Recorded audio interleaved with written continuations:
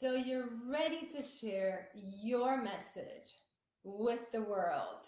You've decided to. You're taking a step forward. And then the logical mind kicks in again. But wait, what? How are we going to do this? How, what's your branding? What's your message? What, when, where, how, who? Blah, blah, blah, Next thing we know, we're in a whirlwind of confusion again, unable to take a step, playing it safe, staying in hiding, and not able to express this authentic, burning message in your heart that people need to hear, that people are waiting to hear, where we're not going to let it happen. Karen Katz here, I can, period, is on a mission to make sure you share your authentic message that people need, that people are waiting to listen to. They are looking for that answer. And the way that you are able to explain it could help them make it click. So we are on a mission and we are going to make sure that that logical mind, which is coming up to help you stay safe, coming up to make sure that you take the steps safely, that you don't fail, that nothing happens to you. And we understand it, but we need to appease it to make sure that we are able to take that step. Because that message, that burning message, is no good if it's kept inside you and nobody hears it. We need to help you take that step and take that next step and take that next step. Baby steps will get you to where you want to be so that people will hear what you have to say in your own way. So, how do we appease this logical mind? Well, I love a nutritionist, Ann Louise Gittleman, has this great analogy where she explains that for gut health, you need to crowd the bad bugs with good bugs. So she makes a solid case for taking probiotics. Whatever you choose for gut health is your decision. But I love the idea of applying this gut health to mental health, applying it to our mind, crowding these mental bad bugs with good bugs. What is the dose of good bugs that you are taking daily to make sure you can stay in that space of creative energy and take that next step forward? One day at a time. Today, I am going to share with you four techniques. Some people have a great morning routine, and that's phenomenal because it sets our tone for the day. I have mine. I've finally found one after years of trying to put something together that I am committed to and I love, that has the perfect timing for me, and that really shifts my energy to tune in to a positive, creative, energetic state where I want to be sharing from. I did it this morning, can you tell? So that's great. The morning routine is phenomenal. But then how long does it last you? And then what, how long does it take you to fall into lower energies? Because we're bombarded all day with messages, emails, social media, calls, bosses, partners, friends, relatives, so much going on that's able to shift our energy into a space that is not the one that we want to be in to create, craft, and share our message. So today, these four techniques are going to be helpful to apply any moment of the day so that you can come back to that space of centeredness, groundedness, connectedness to your heart and share from the space of knowing that anything is possible, that whatever you have to share in your heart, people have to hear it. So here we go. number one technique is alternate breathing. We practice this in yoga. It automatically soothes the nervous system, it calms us down, and it brings us to a space of creativity. It brings together the left side and the right side of the brain to cooperate. So here it goes, super simple. We are going to cover one nostril, breathe in through the other nostril for four. Hold it in for four. And then let go in the other nostril. Hold it for four.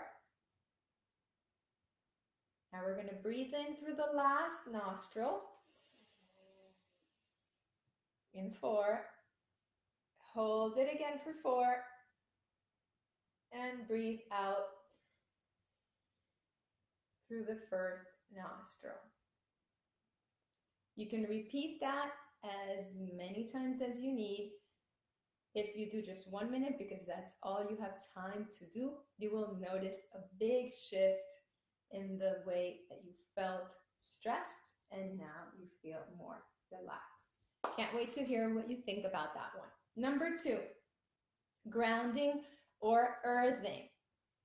A lot of people practice this, and it's basically just walking outside in a safe space, barefoot, on the grass, on sand, so that you can ground all these energies and emotions and vibrations with the earth. It's the same concept as plugging in an electrical equipment into a socket and having that third prong that just grounds the electricity in case anything happens. Where we are elect we are energy to vibration and all these emotions, everything that's going on, blah, blah, blah, blah, can be overwhelming in time.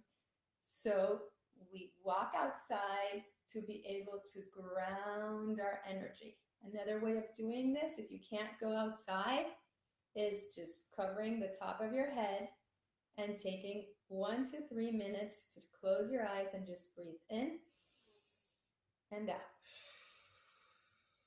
Breathe in and out keeping your hand on your head and seeing how that works for you. Also, if you only have the opportunity to just walk outside with shoes, it's better than not doing anything because it shifts our focus from that state of confusion or paralysis that we were in.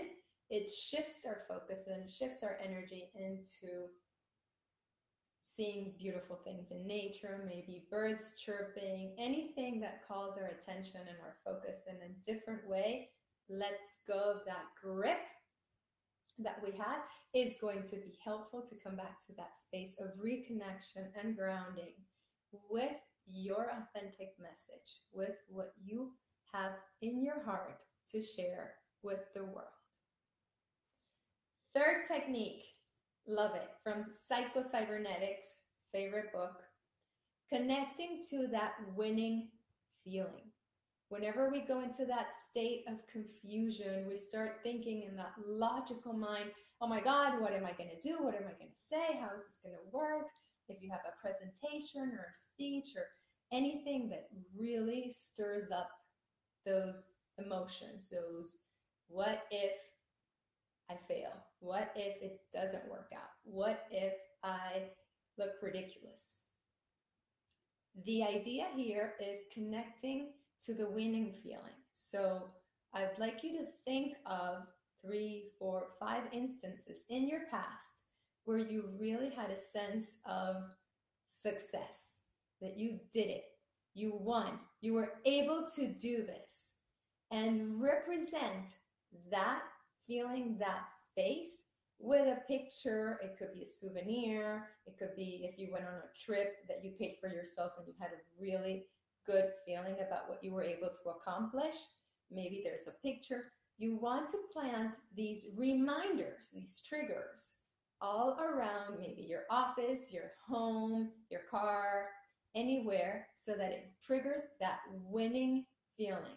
You actively connect to that space where I've done it before, I could do it again. And you really want to connect with the emotions. Allow yourself to feel the emotions, the intensity of how you were able to accomplish something amazing before in your life. It doesn't have to be a huge, big thing. It could be anything that triggers that winning feeling. Simple, small, it doesn't matter. In psychocybernetics, they give the example of us learning as kids to tie our own shoes. So anything works as long as you're connecting with that feeling of, yes, I could do it. I've done it before and I could do it again. Yes. The fourth technique, and now it's becoming, hi, Evelyn! And it's becoming one of my favorite techniques. It's called tapping. I don't know if you're familiar with it. Tapping or EFT. There's a lot, it's called Emotional Freedom Technique. There's a lot about it on YouTube. My favorite teachers are Brad Yates and Margaret Lynch. Now I'm reading her book called Tapping into Wealth. Fabulous technique if you're stressed out or overwhelmed and you want to bring your stress response down to calm or soothing. You are going to tap on your acupuncture points. So you could tap right here. They explain in detail all the acupuncture points right here, right here. There's no wrong way to do it. And as you tap, you are going to say to yourself soothing words as if you were talking to your best friend, which is something we don't do often. So if you're doing it, for example, and you're at work and you only have a few minutes, I like to do a tapping here. Let's say something triggered a negative situation or you're scared about a speech that's coming up, where you're going to want to start tapping and say, even though I feel anxious right now, I'm still going to honor and accept myself completely. Yes, absolutely. Thank you. Even though I am feeling stressed out right now about this thing going on, I am still going to honor and accept myself completely.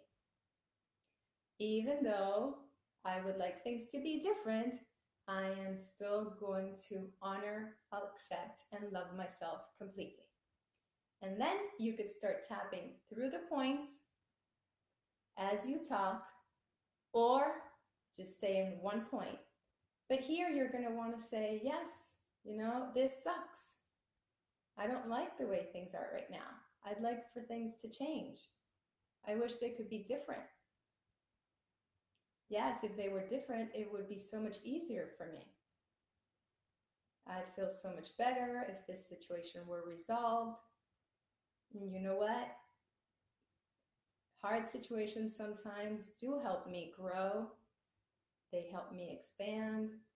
I don't like them, but they do help me, and they've helped me in the past become the person that I am today. So I might be able to overcome this challenge too. And it would be great if I could. I'd feel amazing. That'd be wonderful. And then I could share it with other people. And there you go. When you start saying soothing words and you're feeling calmer, then you're able to tap into that authentic space within yourself within your heart so that you can keep moving forward and taking action to create the change that you want, whatever that is. Sharing your authentic message, doing your first Facebook Live, which was the case for me, yes, doing anything that will help you get closer to where you want to be.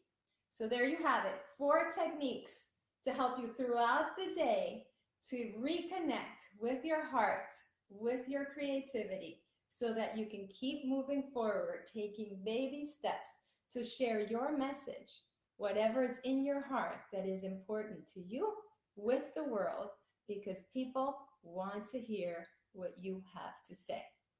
I wish you a phenomenal rest of your day. Namaste. You will.